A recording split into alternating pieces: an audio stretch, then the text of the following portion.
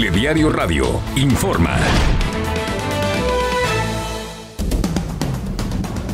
Muy buenos días, este es un resumen con lo más relevante hasta este momento. Les saludamos. Gabriela Pérez Javier. Y Antonio Estrada Armendáriz. A una semana de haber asumido el cargo, fue asesinado y decapitado el alcalde de Chilpancingo, Alejandro Arcos Catalán. Su cuerpo fue abandonado dentro de un vehículo. La Fiscalía General de Guerrero abrió una carpeta de investigación en contra de quien o quienes resulten responsables por el delito de homicidio calificado del funcionario público. Alejandro Moreno, líder nacional del PRI, señaló que este crimen se dio a tres días de que el secretario de Ayuntamiento de Chilpancingo, Francisco Tapia, también fuera hallado muerto. Por su parte, la gobernadora de Guerrero, Evelyn Salgado, condenó el asesinato. En Culiacán, Sinaloa, la violencia ha provocado el cierre de negocios y la pérdida de empleos. Los enfrentamientos entre la malliza y los chapitos no paran y con eso se ven consecuencias en el sector económico. De acuerdo con datos oficiales, hasta el domingo 6 de octubre son 149 homicidios y más de 160 denuncias formales por desaparición de personas. Hoy se realizará un homenaje de cuerpo presente a Ifigenia Martínez, quien fuera presidenta de la mesa directiva de la Cámara de Diputados, fallecida el sábado a los 99 años de edad. Será este mediodía cuando se realice la sesión del Congreso General y se rindan honores.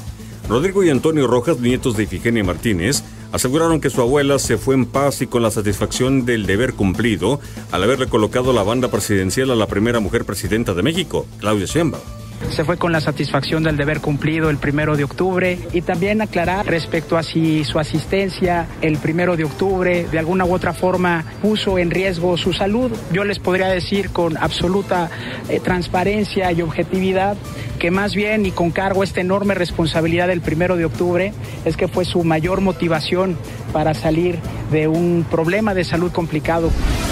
La presidenta Claudia Sheinbaum acudió al funeral.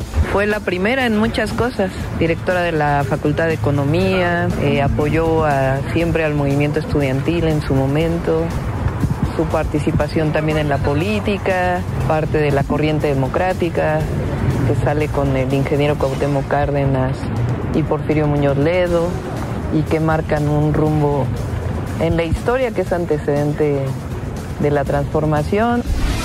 El vicepresidente de la Cámara de Diputados, Sergio Gutiérrez Luna, informó que después del homenaje luctuoso deberá llevarse a cabo una elección para definir quién ocupará la presidencia en San Lázaro. Mañana vamos a, extender esta sesión y, ya veremos los procesos parlamentarios que hay en Cámara. ¿Elegir un nuevo presidente? La ley es muy clara al establecer que eh, la vicepresidencia quede en funciones en caso de una ausencia y entre una ausencia definitiva, como es el caso, tiene que haber un proceso de elección. El senador Manlio Fabio Beltrones anunció su separación del PRI tras ratificarse la reelección de Alejandro Moreno Alito al frente de ese partido.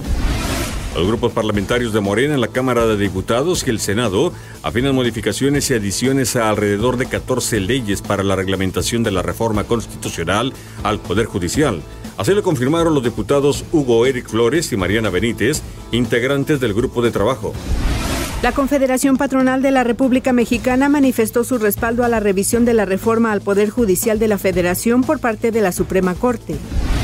La presidenta Claudia Sheinbaum dio el banderazo de salida para la construcción del tren México-Pachuca y precisó que la construcción del proyecto estará a cargo del agrupamiento de ingenieros que construyó el aeropuerto Felipe Ángeles. Los proyectos ferroviarios de la presidenta en Ciudad de México, a Querétaro, Nuevo Laredo y Guadalajara podrán competir con aviones en el movimiento de pasajeros si se hace la infraestructura adecuada. Así lo expuso Oscar del Cueto Cuevas, presidente y representante de Canadian Pacific Kansas City en México.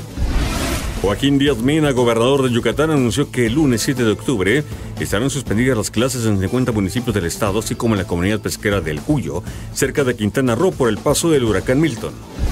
A un año del ataque de Hamas contra Israel, las huellas de la tragedia están presentes. En las principales calles de Israel, las familias claman porque sus seres queridos dejen de ser rehenes y vuelvan a casa.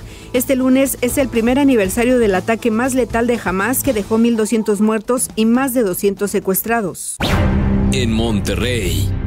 Las recientes lluvias han tenido un impacto positivo en los niveles de almacenamiento de agua en las principales presas de Nuevo León y en algunas continúan superando el 100% de su capacidad. En un comparativo de telediario con base en los niveles que reporta la Comisión Nacional del Agua, se constató que en una semana solo uno de los tres embalses presentó una disminución de 2%, mientras que las otras dos aumentaron su nivel de llenado.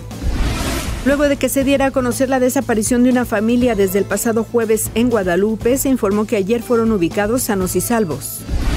Una invasión de inversión extranjera multimillonaria es la que está experimentando Salinas Victoria debido a la mudanza de fábricas del país de origen a esa ciudad con alrededor de 200.000 habitantes. El municipio anunció que en los últimos tres años ha captado 22 nuevos proyectos que representan 6 mil millones de dólares y más de 32 mil empleos. Por ello, es una de las ciudades top que atraen el nearshoring a Nuevo León. El arzobispo de Monterrey, Rogelio Cabrera, reconoció el compromiso de los diferentes órdenes de gobierno para trabajar de manera coordinada en la entidad, sin importar el partido político al que pertenecen durante el arranque de las nuevas administraciones. Con el inicio de las nuevas administraciones municipales, hemos dado, hemos somos conscientes del entusiasmo y compromiso de los diversos órdenes de gobierno para conciliar las diferencias políticas y trabajar en equipo. Esta mañana un domicilio fue baleado en la colonia Santa Fe, municipio de Monterrey. No se reportan personas lesionadas. Un hombre con heridas de bala en la cabeza fue localizado con vida en un terreno baldío en la colonia Cumbres en Monterrey. Fuentes extraoficiales señalan que la víctima aparentemente es un médico de un reconocido hospital privado del sur de la ciudad. La Feria Internacional del Libro Monterrey 2024 culminó ayer con una asistencia masiva y récord de 305.928 visitantes. Nuevo León y su recomposición. Es el tema que aborda José Jaime Ruiz en su columna Disensos. Léala hoy en la página 9 de nuestro periódico Milenio en su versión digital o impresa. Hoy amanecimos con 21 grados. Para esta tarde se en 31 como temperatura máxima y para esta noche esperamos 25 grados. Será un día parcialmente nublado y caluroso. Con un gol de Kimberly Rodríguez, Tigres Femenil dio por terminado su invicto en la Apertura 2024 y en el Estadio Universitario al caer 1 por 0 ante el América. Con este resultado, las Águilas ligaron 7 victorias de forma consecutiva en el torneo Apertura 2024. El entrenador de los Tigres, Jelko Paunovic, confirmó que llevará a la mayoría de sus figuras al amistoso contra los Rayados del Monterrey, que se disputará el próximo 12 de octubre en la ciudad de San Antonio, Texas. Esta y más información la puedes encontrar en mediotiempo.com. En Deportes, Marco Navarro. Que tenga un excelente lunes. Hasta aquí. Telediario Radio. Nos escuchamos en la próxima emisión.